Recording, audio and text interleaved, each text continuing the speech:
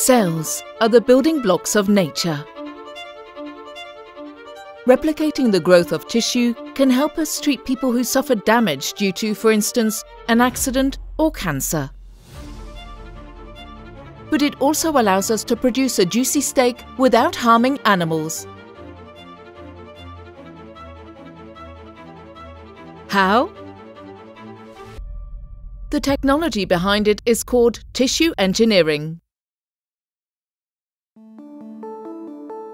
Professor Shulamit Levenberg is one of the global leaders in the field. Tissue engineering focuses on growing tissues in the lab for regenerative medicine, muscle, bone, blood vessels, lymph vessels. These include complex structure, for example, bones surrounded by muscle with blood and lymph vessels. The ultimate goal is to provide a cure by means of repairing or replacing damaged or lost tissue. Together with her team, Professor Levenberg grows tissue in her lab at Technion, Israel Institute of Technology in Haifa. Many diseases and conditions could be treated by use of engineered tissue. Loss of tissue is the most obvious target, for example, due to car accident, cancer, or other conditions.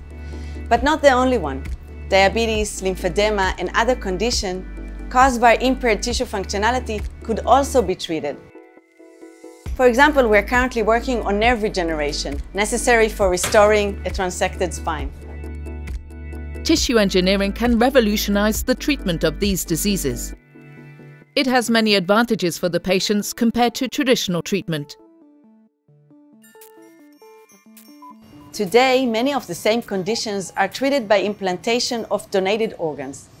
Being able to produce those organs would reduce waiting times and rejection risks. Some conditions rely on autografts. We would eliminate the necessity to take tissue from somewhere else to repair the damaged area. But how does the steak fit in here? Cultured meat came about as a sort of byproduct of our main research. We grow human tissue to treat humans, but we can also grow any mammal's tissue. The principles and technology are the same and can equally serve to grow beef muscle as a steak. Engineering cow tissue in the lab allows us to produce meat without harming animals.